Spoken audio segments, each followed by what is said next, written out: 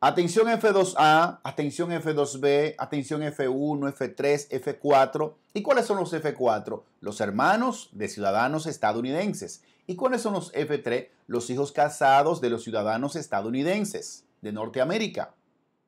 ¿Y cuáles son los F1? Los hijos. Los F3 son los hijos casados de ciudadanos. Los F1 son los hijos solteros de ciudadanos. Los F2B son los hijos solteros, por supuesto, de residentes mayores. Los F2A o F21 o F22 son los hijos de los residentes menores de edad y esposos de residentes. Esos son los F2A, F21 o F22. Esposos e hijos menores de 21 años de residentes. Atención, si usted completó su proceso con el NBC, National Visa Center, Centro Nacional de Visas, entre agosto y septiembre del 2020, prepárese porque usted recibirá su cita, Dios mediante, en octubre o noviembre.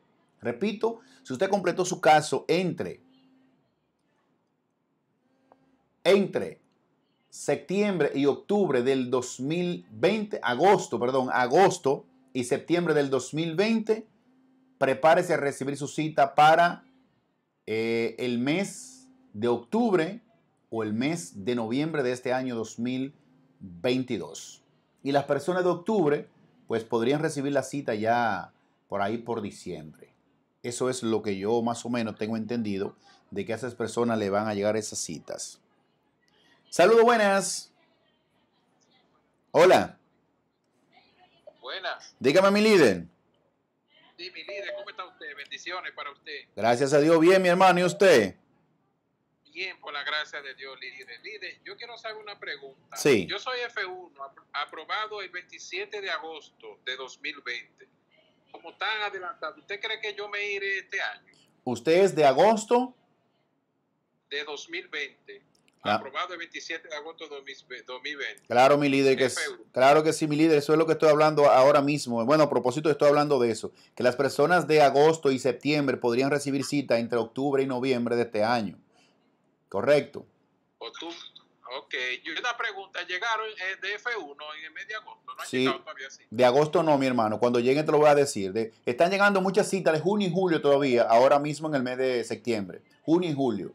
Ah, ok, muchísimas gracias, mi hermano. Bendiciones para ti. Dios me lo bendiga. La gente de junio, señores, del 2020, esposos de residentes e hijos y demás categorías, se estaban quejando porque solamente estaban en julio. Muchísimas citas, un montón de citas para todos llegaron en este momento. Desde el día de ayer y el día de hoy a todas esas personas. Así que esas son muy buenas noticias. Saludos buenas. Licenciado. A su orden, mi amor. Licenciado, yo tengo un caso desde el 2020 en migración todavía, una petición de mi esposo y todavía no me la han aprobado desde el 2020, eso es, eh, eso es así, mi amor. Tiene muchos atrasos, sí. Sí, sí, tengo clientes que han pasado por mi oficina y le hemos escrito correos a inmigración y ellos lo que dicen es que su caso está dentro de los tiempos normales de procesamiento. Así que vamos a tener un poquito de paciencia, mi amor, porque según California, que dura 25.5 meses, y ya usted me está hablando a mí que tiene casi 29 meses, ¿eso es correcto? Sí, correcto, sí, desde enero del 2020, 28 de enero del 2020. Sí, mami, un poquito de paciencia, no tiene que escribirle porque ya yo lo he hecho por usted con otros casos que son de esa misma categoría, de ese mismo año y están en California como el suyo, ¿correcto? Sí, yo le escribí y ellos me dijeron que no le volviera a escribir. Entonces, cuando yo entro, me ponen que lo más pronto que puedo hacerle preguntas es el 14 de octubre. Eso es correcto, mi amor. Significa que el 14 de octubre, antes de esa fecha, ellos podrían aprobarle su caso ya, mi amor. Porque esa es la fecha que ellos tienen para aprobarle el caso. No está atrasado, dicen ellos. Sí, eso me dijeron en el correo que me enviaron. Y, sí, y sí está atrasado, pero ellos dicen que no. Entonces, mi amor, nada, tranquila y un poquito de paciencia. Ok, muchas gracias, muchas bendiciones. Felicidades por su programa. Gracias, mi amor, a tu orden. Gracias, mi reina. Señores, seguimos. Unesca Osorio nos hace un super chat, pero no es la pregunta. Eh, por favor, Unesca, haga su preguntita. Señores, pueden hacer los super chat también. Las personas que quieren que les revisemos sus casos, lo pueden hacer a través de super chat y nosotros con mucho gusto. Además, cualquier persona que quiera una pequeña evaluación sobre visa de turista o también, pues, eh, personas que tengan citas consulares y quieran eh, hacer algunas preguntitas sobre la que hacen en el consulado, también nos pueden llamar, porque estamos en vivo, señores, para el mundo, y esto es completamente gratis. Aproveche porque en la oficina cobramos. No muy caro, pero cobramos. Así que ya lo saben. Saludos, muy buenas. Hola. Buenas noches, licenciado. ¿Todo bien, mi hermano?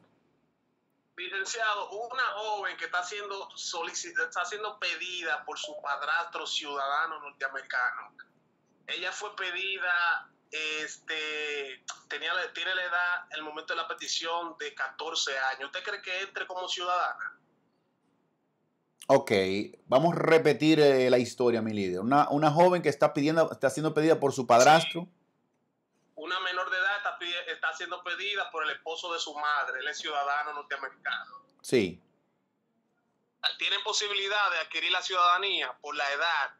He escuchado algunos, algunas personas eh, diciendo que hay una ley donde, eh, dependiendo de la edad que se hizo la petición, tiene posibilidades de solicitar la ciudadanía automáticamente. Eso, eso es. Esa ley es para los hijos, no los hijastros, hermano, para los hijos. Ok, entonces no aplique en el caso porque es el padrastro. Es el padrastro, ese no es su papá.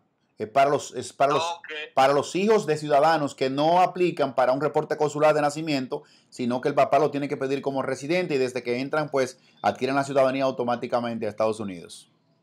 Ok, porque es un caso peculiar. La joven es una nacional haitiana y le quería hacer una pregunta un poquito peculiar, sé que es una, pero ya para no quitarle mucho tiempo. Ella tiene su pasaporte vigente y todo en orden, pero no tiene una visa dominicana. ¿Usted cree que eso puede afectarle el día que tenga cita, ir con el pasaporte eh, que no está debidamente visado?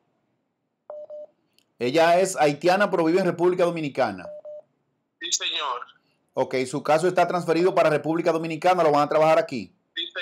Sí, señor. En la página, el, el CAC, el portal dice Santo Domingo. No hay problema, hermano. Eh, ella va con su pasaporte haitiano porque ella es haitiana y reside no, yo entiendo, pero lo que digo, al no tener visa puede causar una mala impresión o causar un problema. Al no tener visa de República Dominicana. Sí, señor, ella está irregular aquí. Ella está, sí, debería, mi, mi hermano, deberían, o sea, debería estar legal en el país, residir legal. Ok, ok. Nosotros no trabajamos proceso dominicano, pero esa parte sí hay que, hay que manejarla con pinza, mi líder, porque debería estar legal para ella, para ella el consulado decir que sí, que está, tiene un estatus aquí. Tú ves. Lo más, lo más, lo más conveniente era haberlo hecho en su país. Como ella no está aquí, no, no está legal, sino, o sea, está irregular, porque legal, ilegal no, sino irregular. Correcto. Eso era lo más probable. muchas gracias. Por de todo modo, yo, yo tengo eh, eh, pendiente para hacer una cita con usted, porque son un sinnúmero de preguntas